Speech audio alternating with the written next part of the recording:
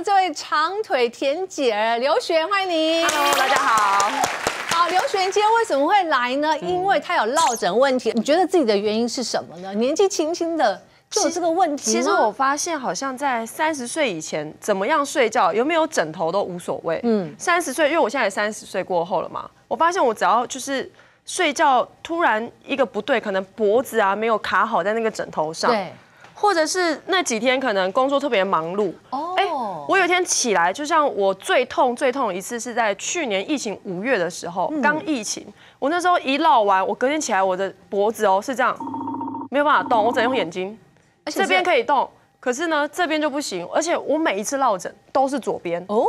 然后为了要玩手游，可是我那时候头不能低啊，然后不是通常我们打手游都是这样打吗？嗯，那因为我的落枕太严重，只能只能眼睛往下，我就于是我就把手机就这样拿起来打，对，打打打打到后面，我跟你讲，我手好酸哦，还要放下来一下，要不然，然后后来打到两只手都麻掉，天哪，那还继续打？因为太无聊，你在家你只能就是找寻就是其他的方式，然后不然我就是用 U 型枕，就是像我们在车上睡觉不是有买那种 U 型枕，哦就是呃撑住你的脖子对，然后我要看电视的时候，啊，我也是这样卡着，然后脖都不能动，眼睛动。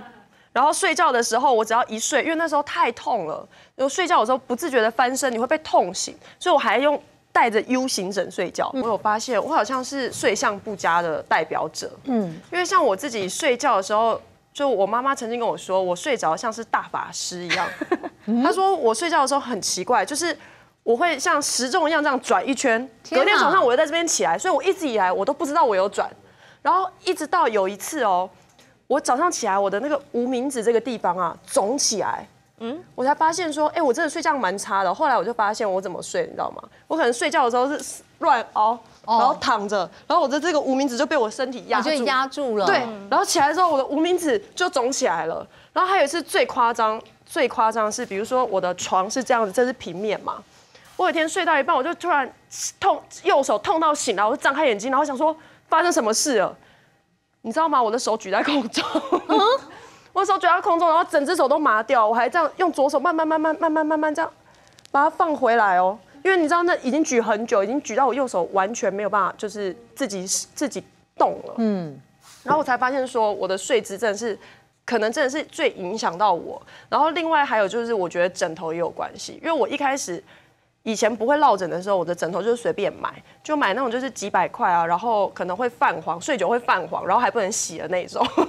然后后来很多人都这样，舍不得换。对，然后就后来我就开始学习买记忆枕，可是我买记忆枕我也是落枕，后来我就真的从去年就落一个那个最大的时候，我就花大铁心对我买了一。颗六千多块，可是因为我睡双人床，所以我得买两颗，哦 因为我怕我滚过去，因为我睡姿不好嘛。我都买了一万多块的枕头，但是呢，有减少了落枕次数，可是我还是落枕。